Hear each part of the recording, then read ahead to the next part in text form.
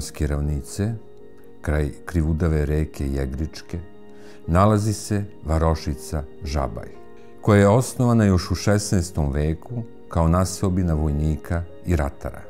Kasnije se u ovom mestu razvila industrija, ali je ostalo poznato po starogradskim pesmama posvećenim žabaljskim lepoticama. Nažalost, ni ovo mesto nije ostalo pošteđeno od krađe beba.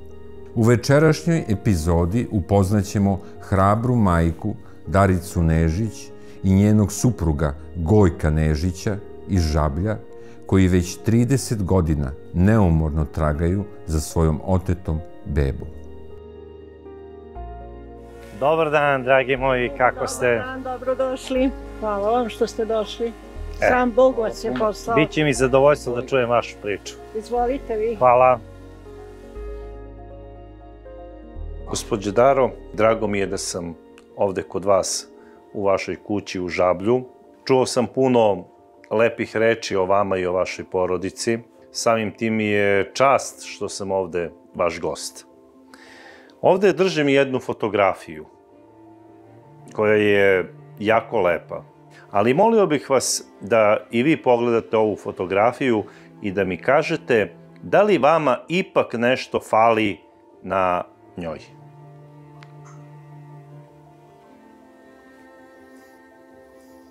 Da, nedostaje starija sestra od mog sina, moje prvo rođeno dete, Odnosno vaša čerka. čirka, 93. godište. I ona bi koliko godina bila starija od vašeg sina koji je na fotografiji? Četiri godine. Četiri godine. Darica je rođena 4. maja 1964. godine u Žablju na danu Uskrsa, kao drugo dete svojih roditelja, Vere Stanković-Tomin i Branka Tomina.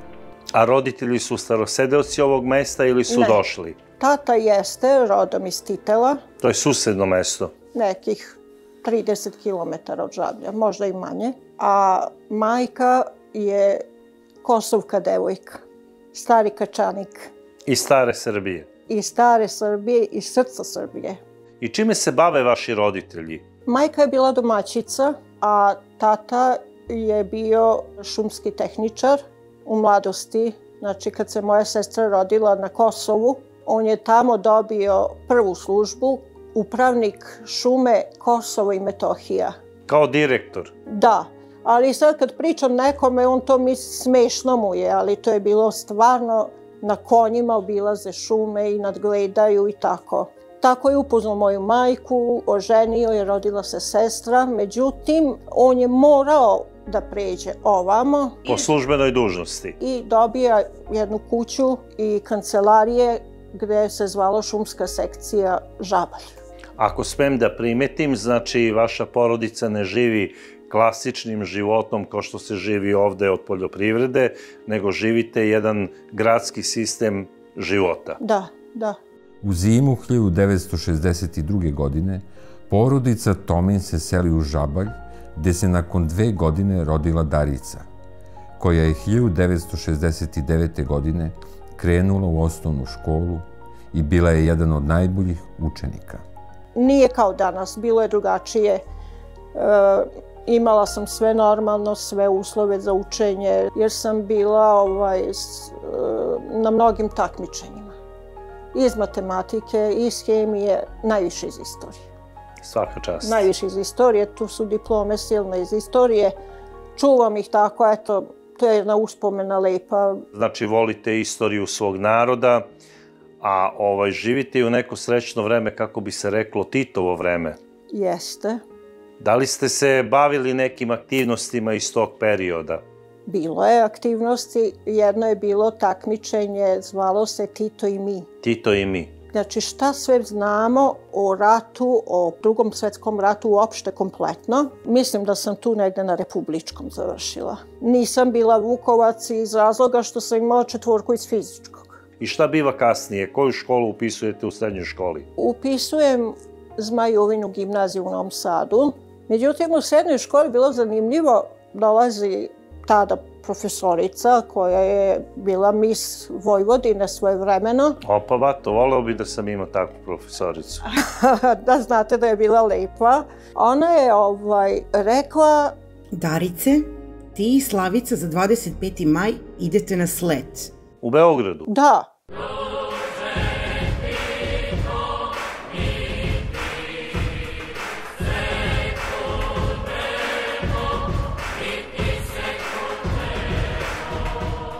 A ja, kako ću ja to, rekao, ću ja to moći izdržati, hoću ja to podneti, rekao, nemamo mi auto. Ne, sve to ide organizovano, ići će autobus iz Novog Sada.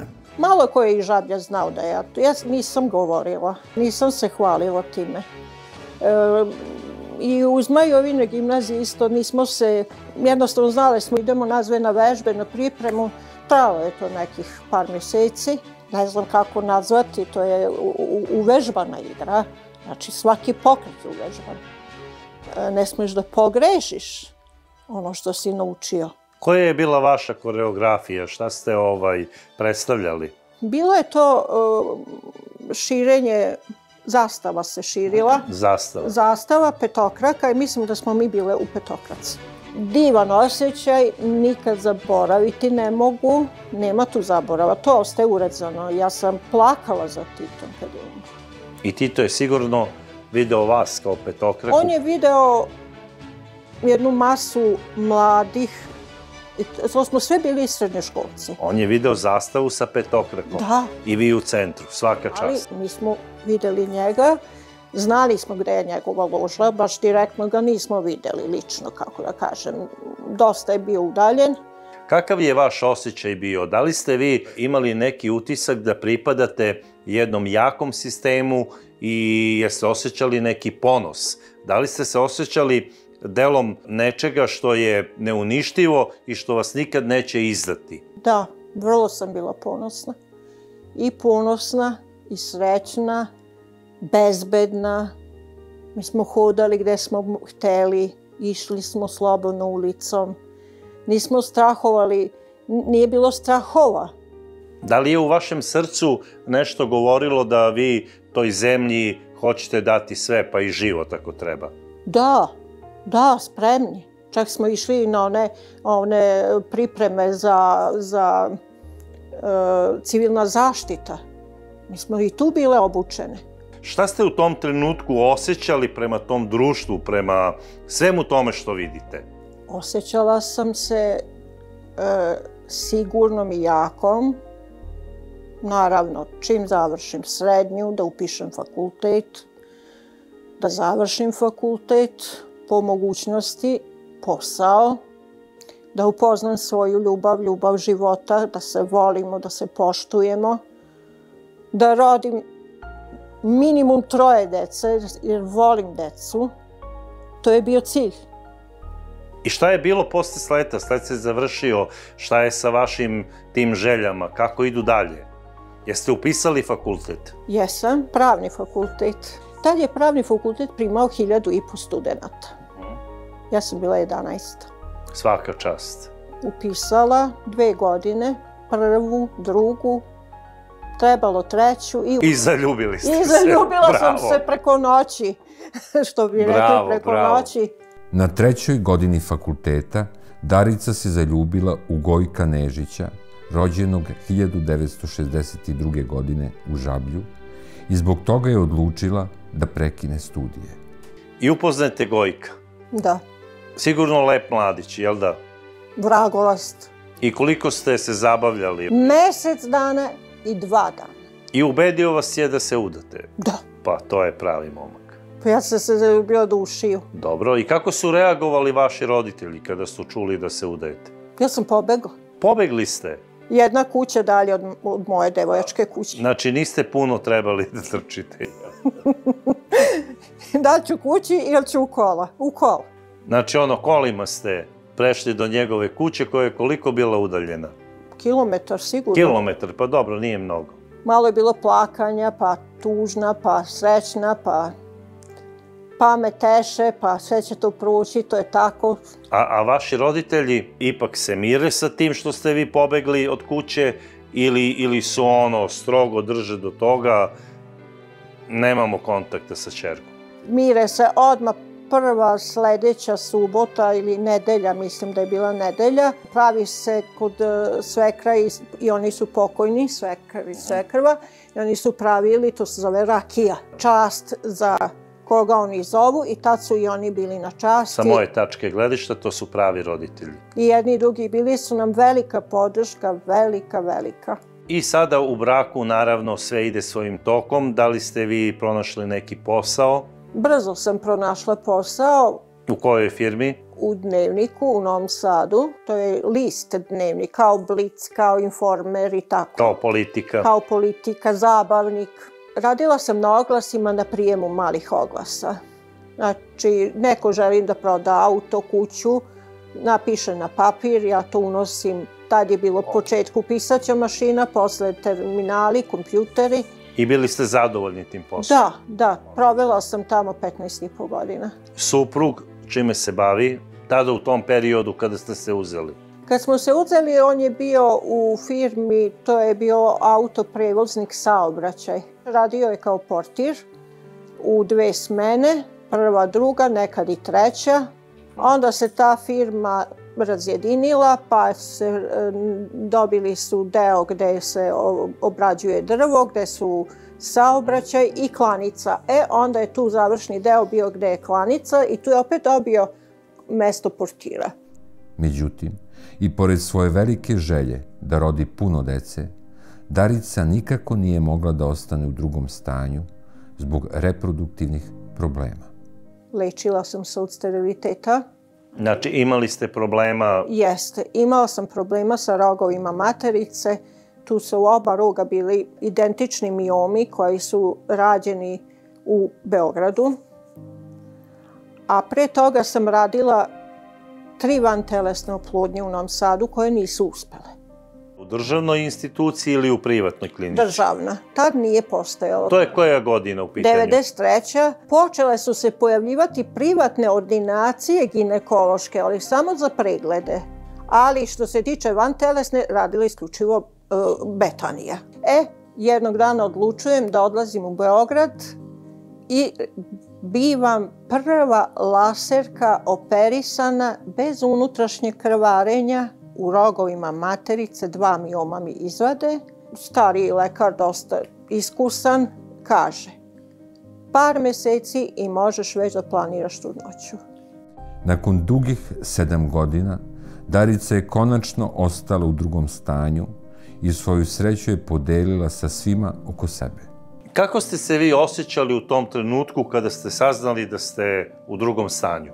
To je nešto neopisivo osjećaš da nosiš jedno biće, u, da ću roditi suprugu, dete.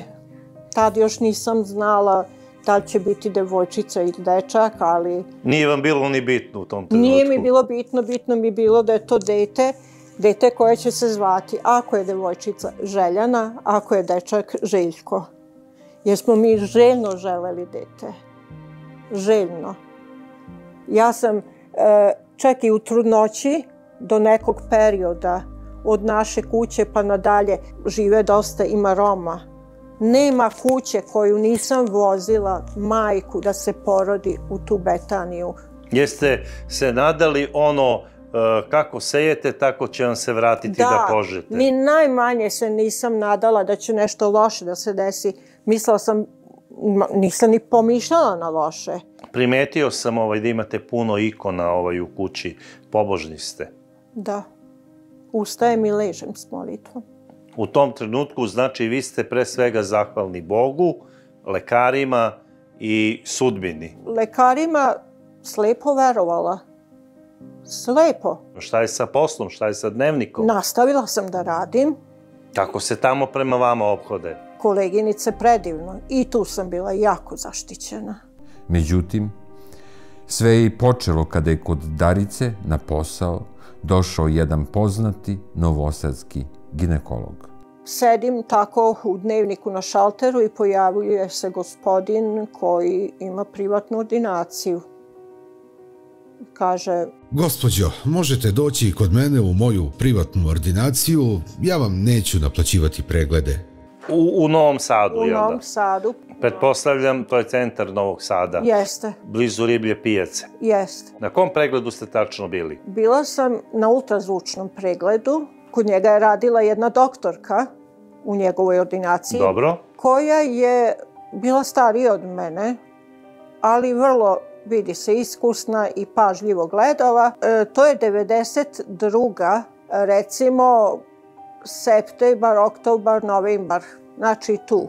U ta tri meseca sam saznala da nosim devojčicu. Devojčicu, bravo. I odredili smo da će se zvati Željana. Da li počinjete da štrikate džemperiće, kapice, onda one vusuklice i tome slično? Jesam, uradila sam zepice, to mi kažemo da zepe, male čarapice, uradila sam džemperić, I idete redovno na te kontrole u privatnoj ordinaciji u Novom Sadu. da. Šta je vama u tom trenutku pregleda doktor e, govorio? Kako se odvija vaša trudnoća?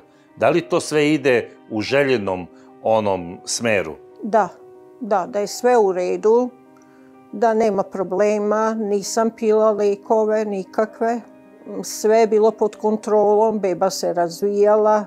Zadnji pregled sam imala u decembru mesecu 92. E, na zadnjem pregledu je rekao Ići ćete u Betaniju da se porodite i preporučujem vam doktora Š. On radi u Betaniji. Kad dobijete prve bolove, javit ćete se njemu lično. Znači, to ide redovnim tokom. Vi ulazite u termin porođaja. jeste. Međutim, u jednom momentu on kaže Najbolje bi bilo da se uradi carski rez. Zašto? Verovatno što su rađene operacije u rogovima materice. Jer ja sam već imala dva reza od kuka do kuka.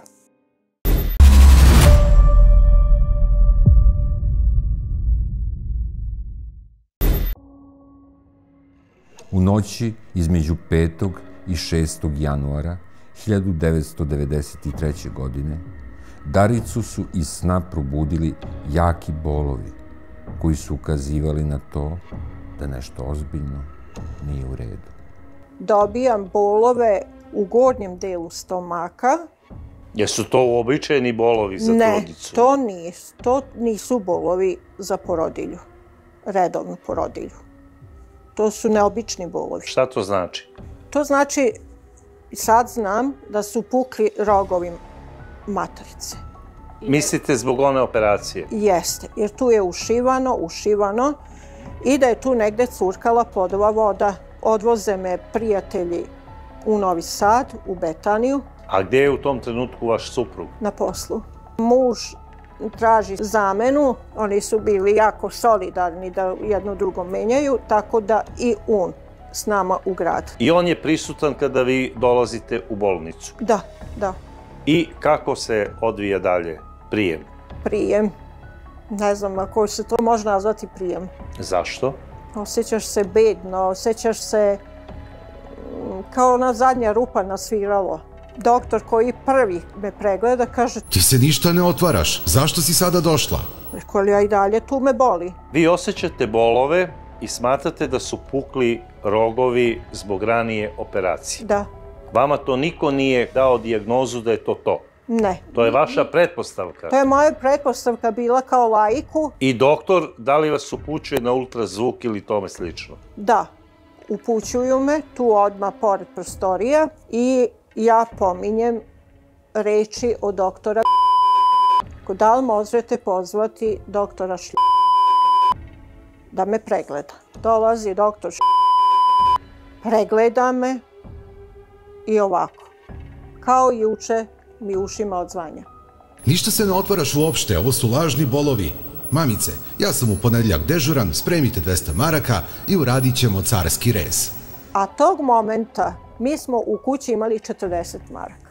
Da li za sve to vreme vaših bolova i dok traje taj pregled e, i ta vožnja od Žablja do Novog Sada i obrnuto, da li vi osjećate pokrete e, svoje bebe u stomaku? Da, da, bebu osjećam, sve i pokrete i sve.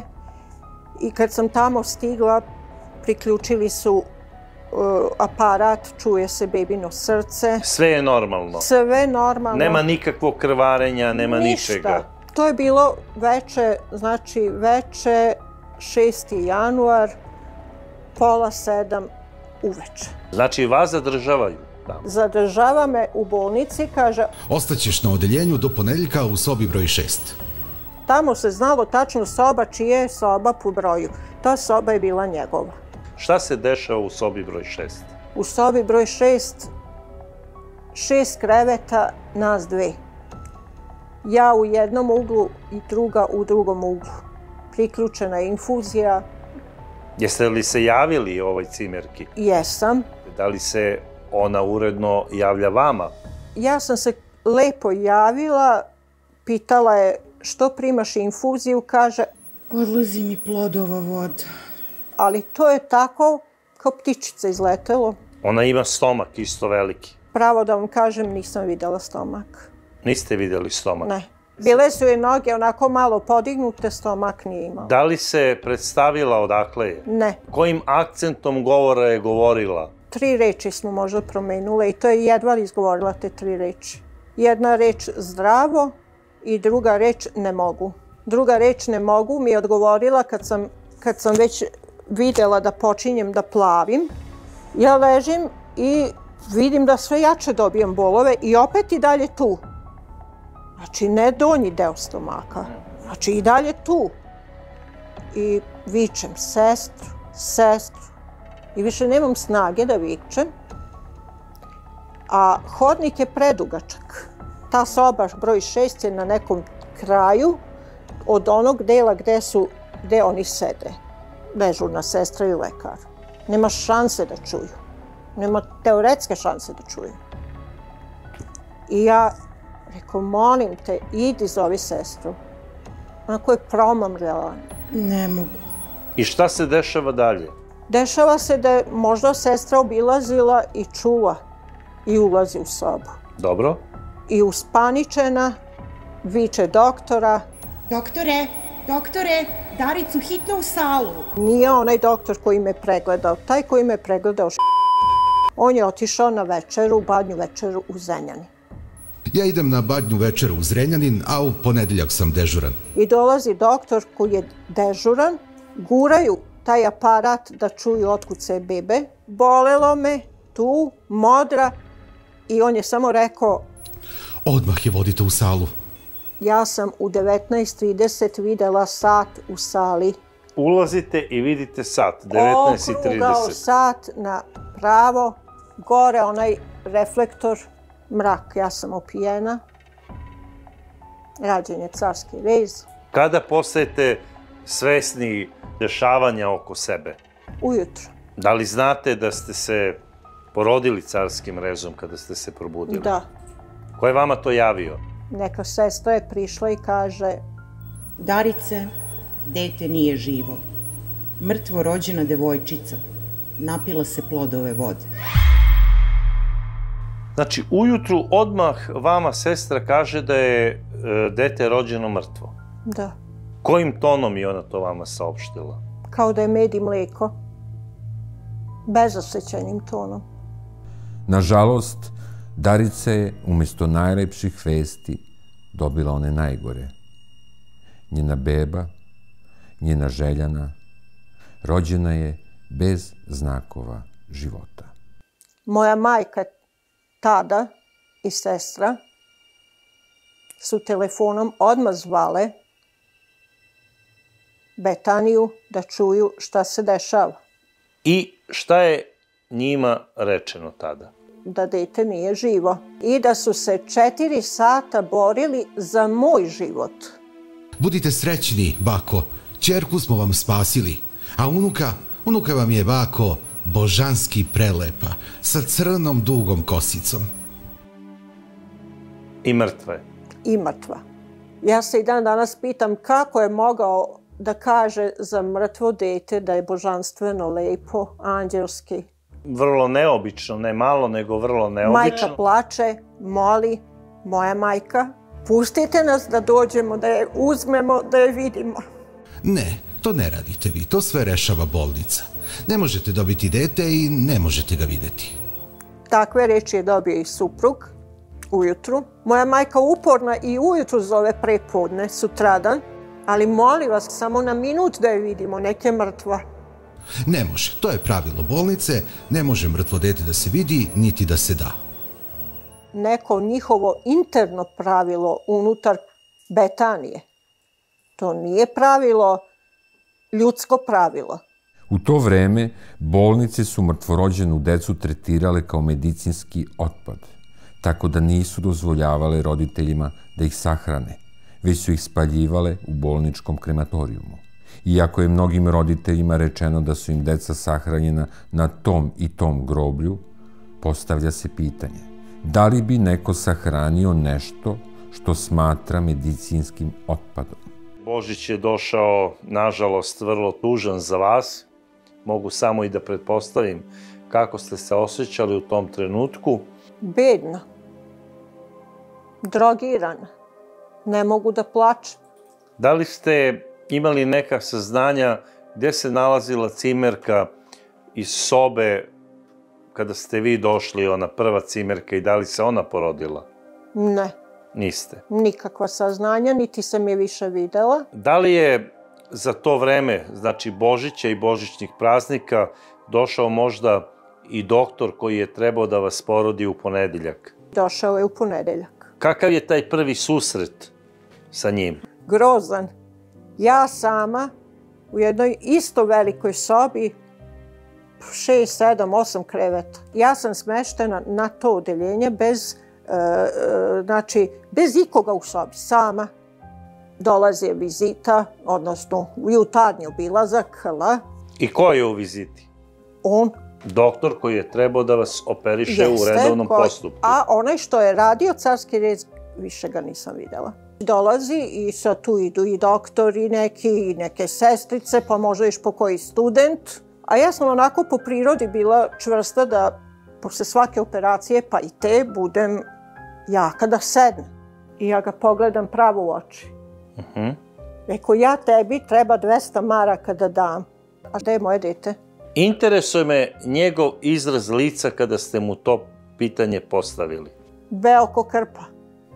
Nije znao da kaže ni ja ni š. Okrenuo se i otišao.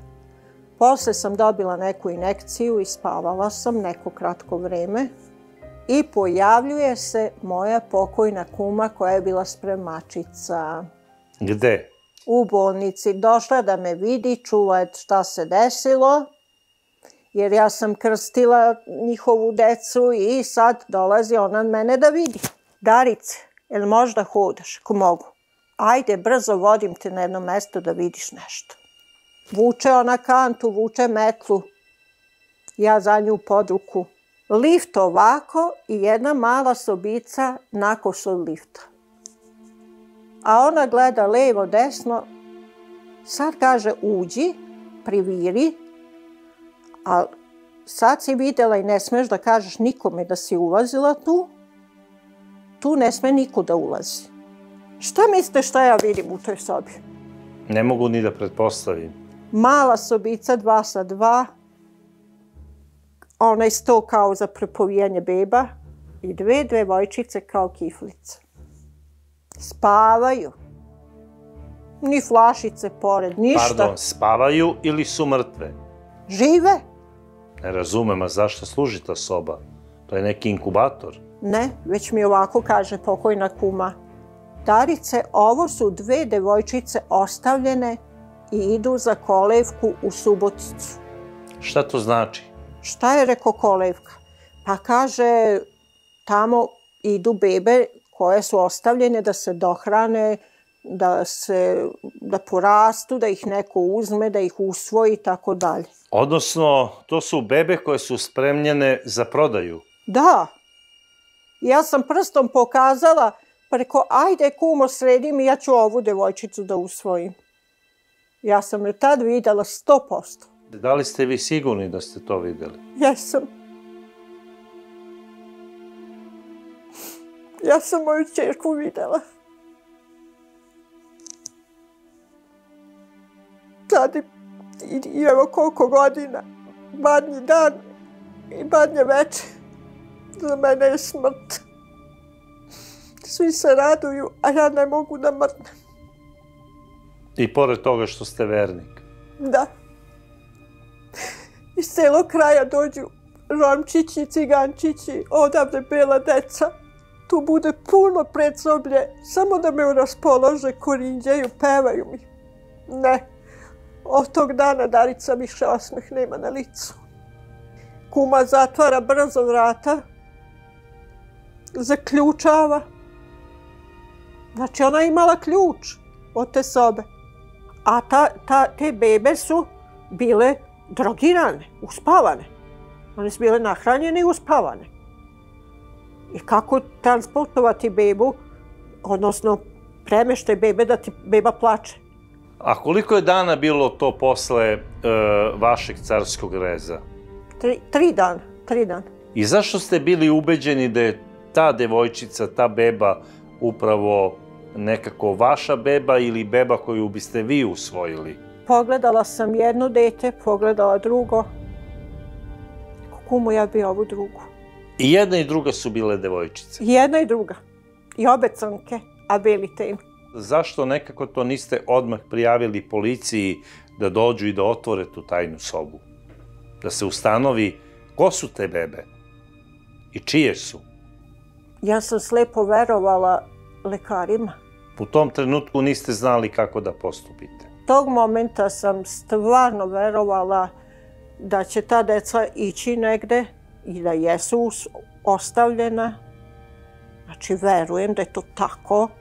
Moje mrtvo negde neće da mi pokažu. I nijednog momenta nisam pomislila da, da su te bebe za trgovinu. A sad sam sigurna da su one otišle u trgovinu. A da li ste ikada razmišljali zašto je ta vaša kuma, spremačica iz e, bolnice, upravo vama pokazala te bebe? Bilo mi je čudno. Jeste li postavili pitanje čije su ovo bebe? Da. I šta vam je ona rekla? Jesam je pitala uh, u povratku prema sobi kako me vraćala, uh, u sobu da legnem, Rekao, kaže mi kumo čije su. Kaže, ja, kaže, jedna je od, od uh, dalje Mošorin ili Kovilj, ali pre Mošorin. Uh, I to u srodstvu. Uh, bračni par je u srodstvu, pa je dete od, recimo, od brata i sestre. Uh mhm. -huh. I ja kažem, pa onda to neće biti zdrava beba. Pa da, kaže, posle se pokažu anomalije, a za drugo, kaže, nisam sigurna, a za, za ovo znam sigurno da je iz srodstva. I da se to njima da. dešava. Ona je mene vodila da bi me utešila. Da vidim malu bebu, da će mi biti lakše da vidim neku malu bebu. I vi izlazite iz te sobe? Da. Izla... Soba se zaključava od strane vaše kume, jel da? Jeste, zaključava. I vi odlazite u svoju sobu? Vodi me u sobu, u svoju sobu, odnosno u sobu u kojoj sam bila smeštena, gde mi opet napominje nemoj ovo nikom pričati da si videla. Jeste vi to nekome ikada pričali? Jesam. Kući kad sam došla, jesam. Posle kog vremena? Odmah nekako. Brzo. Brzo. Pričala sam o tome e, i stalno ceo život mi kroz mozak se vrtila ta slika. No, međutim, dešava se još jedno zlo tamo. U toj istoj Betaniji. Završao sam na tom. Oni mene ostavljaju bez krvi. Tada dok sve to traje? Jeste. Meni, ja postajem malokrvna i po, tonem u san i samo spavam, spavam i spavam. Gde jedan dan suprug dolazi i kaže, Darica, aj malo se razbudi, rekao, ne mogu, promrmljam nekako. Pa šta je, kaže, nemaš krvi. Pa rekao, idi traži krv, doći iz dnevnika da daju. Sestra kao da je stajala ispred vrata, da je čula šta sam rekla. Ušla je i kaže... Ne mogu iz dnevnika doći da daju krv. Nikako. To prvo mora u zavod, pa u zavodu da se obradi, a najpreče nam je naravno operaciona sala, a ne vi. Gde si, tu si, ćutiš i ležiš. Pa kako se rešilo to stanje vaše malokrvnosti? Slučajno se setim, pošto sam radila, rekla sam na šalteru, i ja sam jednom gospodinu koji je danas živ, Aleksandar Jovanović, doktor, bio je načelnik ortopedije na poliklinici, unovčavala ček. Pred kraj meseca da unovči dok mu plata ne bude. I zavodile smo i broj telefona, sve se to zavodilo. I ja muža pošaljem, Gojka, reku, idi ti u dnevnik, naći će oni tebi tog doktora. Ako mi on ne pomogne, neće niko. To je zadnji. Gojko je došao sa doktorom u nekih sat vremena. Doktor je ušao s Gojkom, zakačio mi to, tu krv, to plazma, već kako se zove. Počinjem da se razbuđujem. Stigao je da mi kaže. Darice, uz potpis, kući. Gojko je dobio uputstva šta treba da kupi da se oporaviš. Sestra je uletela kao hajduk u sobu. Šta vi to radite? Ko ste vi uopšte? Radimo ono što vi ne radite. Otkačinjite to s mesta. Hoće da isčupa, da isključi. On je stao ispred njih, kaže, Ne, ja sam dao Hipokratovu zakletvu i ja ću ovoj ženi pomoći. Ako vi nećete, ja ću. Imam utisak po vašoj priči da je imala nameru kao da treba da vas ubije. oni su teli da se reše i mene. Nema deteta, pa da nema ni majke. Vaša novinska kuća je htela da vi njih tužite, je li tako? I dnevnik je stao iza mene da se tuži Betani. Mi smo obišli jednog gospodina, advokata, A odakle je gospodin bio? iz Žablja. Iz Žablja. Rekao mi je ovako. Darice, vrana vrani oči ne vadi.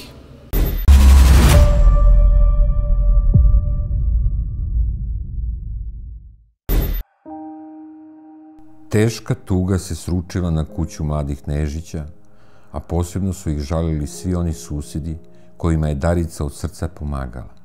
Bol za izgubljenim detetom ostaje u njihovim srcima i do dan danas. Sve što sam spremila za bebicu, sve, smo, sve sam jednoj poklonila mladici.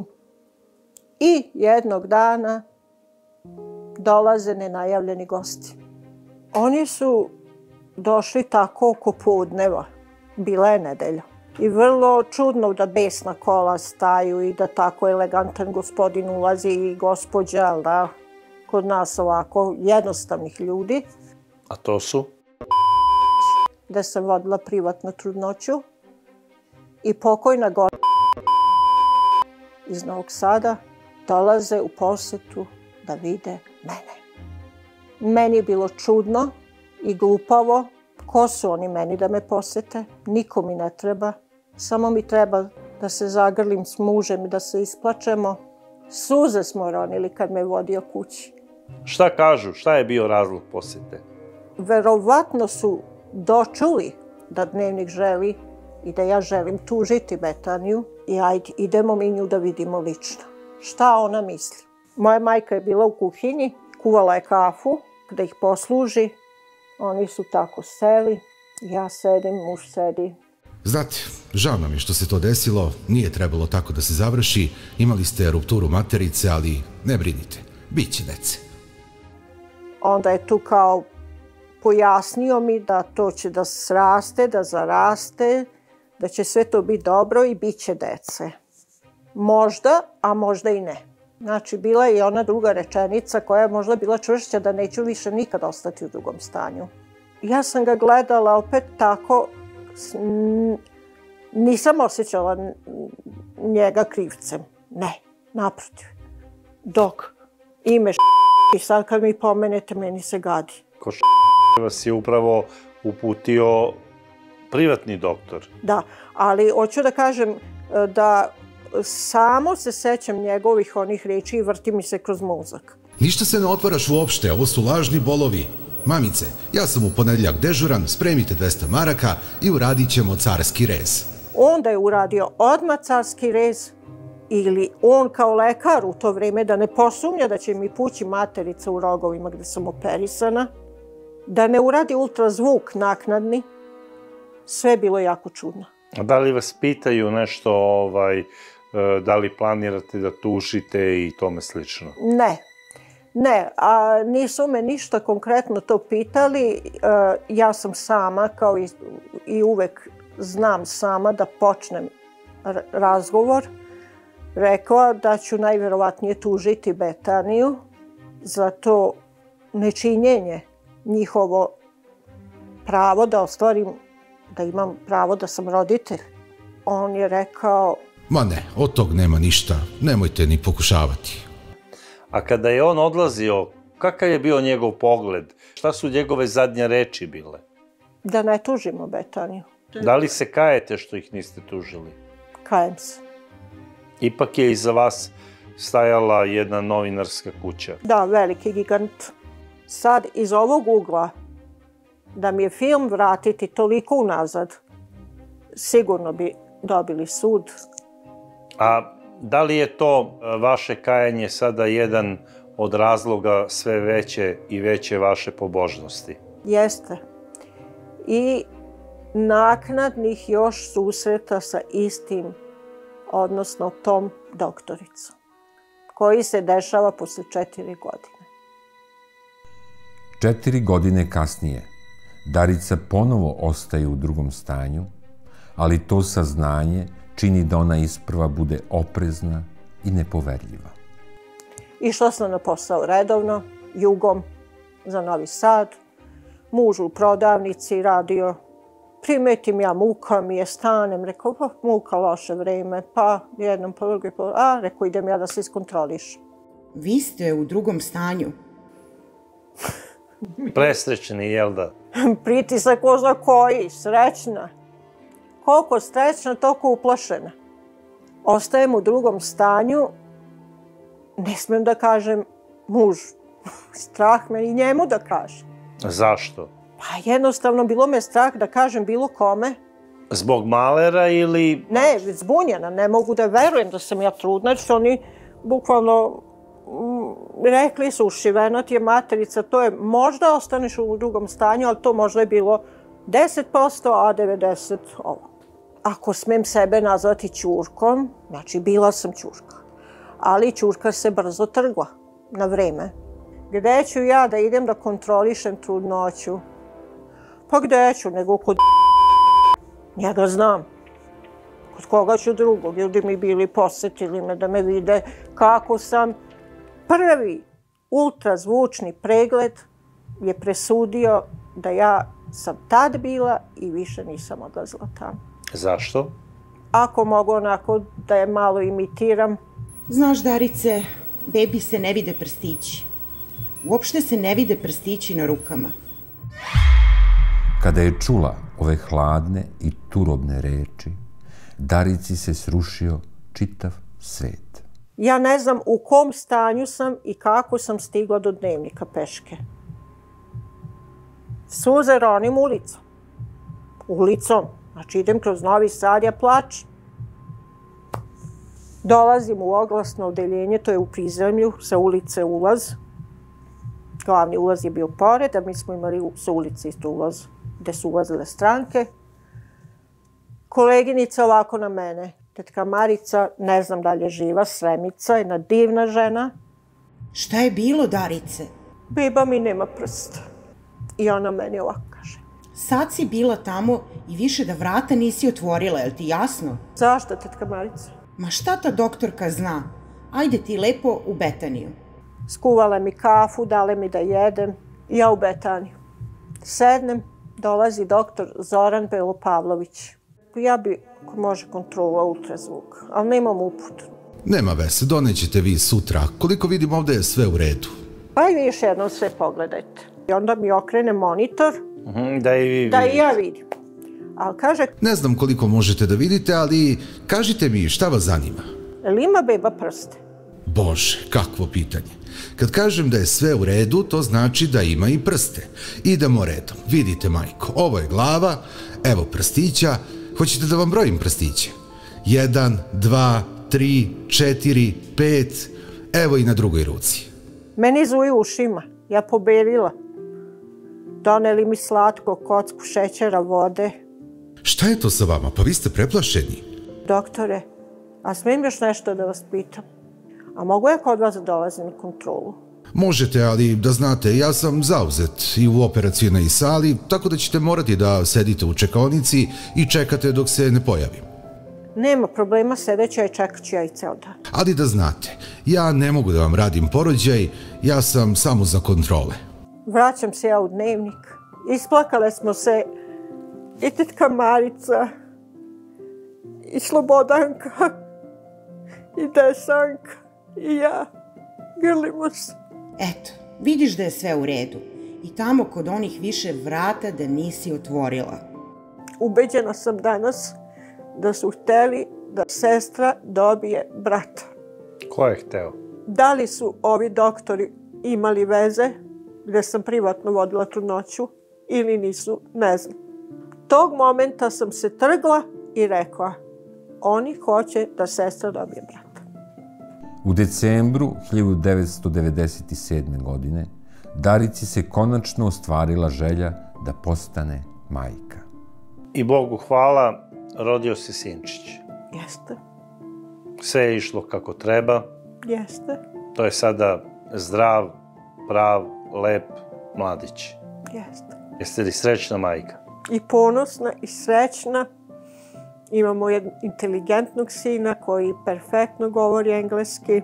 Puno mi je pomogao da me nauči toj novoj tehnologiji interneta, što mene nije nikad zanimalo. Ja sam morala da otvorim radi potrage. Kada palite sveću za zdravlje svom sinu, da li palite još neku sveću?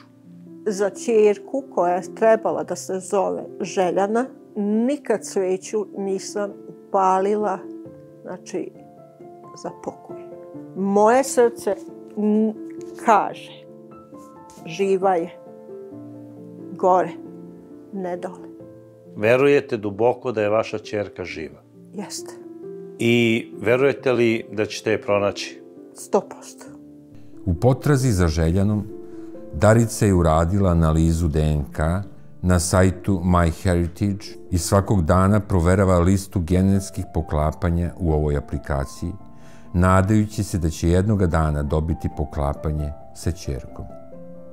Ova metoda je krajnje pouzdana i spojila je mnoge majke sa usvojenom decom, kao i mnogu decu sa njihovim pravim roditeljima. Profil mi je baš sin otvorio i, e, što kažu, ulogovao me. Naručio mi je paket DNK, došao mi je paket, uzorke smo uzeli, uzela sam svoje uzorke, poslala i sve to i stiglo je to tamo, tako da sam registrovana kod njih. E, stižu, stižu podaci. Kao prvi podaci su došli sa kog područja potičem. Imam balkanskog porekla, imam južnoitalijanskog, imam grčkog porekla. To prvo dođe, onda počne posle da stižu i rođaci, ali oni koji jesu uradili DNK. Tako je, tako je. Tako da sve to lepo stižu, nalazi, rezultati pristižu, ali sve je to nešto treće koleno. Gde se nalaze ti vaši rođaci treće kolena, Nemačka najviše. Nemačka? Po koji se pojavio u Srbiji, A nigde se nije pojavila mlada žena koja je 93. godište. ne, Gde mislite da bi ona mogla biti? nedaleko od žablja. Znači ovde u blizini negde. Da, Možda Novi Sad, Beograd. pre će biti Novi Sad. Kad god bi otišli u Novi Sad, a to je sada 30 godina nepunih, ja kažem, naša čerka je ovde. Kada recimo šetate ulicama Novog Sada i vidite neku devojku otprilike tih godina, da li onako pogledate neko i kažete da li je možda ovo moja, moja čerka? Bilo je, dešavalo se. I Dešavalo se. obično, kako je izgledala? dosta bi ličila na moju majku. Ličila bi na jednu visoku, crnku, čistog tena. Ja imam pegice, ali ona bi bila čistog tena. Mislim da bi povukla genetiku od supruga. Možda malo punačka, možda punija, raspoložena, vedrog lika. Da li ste pokušali da potražite pomoć nekih ljudi koji imaju neke, ovako kako da kažem, posebne moći. Jesam. I šta su vam oni rekli? Čerka, živa je. Pošto ste pecaroš. Da upecete ribicu, znači zlatnu ribicu. Svi znamo da je to bajka. Ali ajde da poverujemo da može nekada da se i ostvari. Kao pecaroš, kao strastveni pecaroš. Upecate zlatnu ribicu. Da. Ona vam kaže, pustite me nazad, ispunit ću vam tri želje. I vi kažete ovako, želim samo jednu. Koja bi to želja bila? Da zagrlim čerku. Život je ne bi kvarila kakav god da ima. Ko je kupio, kupio je ko je imućen. Samo bi joj rekao da mi se ne stidi i da samo ona mi kaže eto zdravo i da vidim da je živa. Uz pomoć veštačke inteligencije napravili smo i fotorobot mogućeg izgleda Željane Nežić. Ako prepoznajete ova lica na fotografijama, javite se Darici Nežić iz Žablja i pomozite joj da ostvari svoju misiju i pronađe svoju čerku. Ona će vam za to biti večno zahvalna.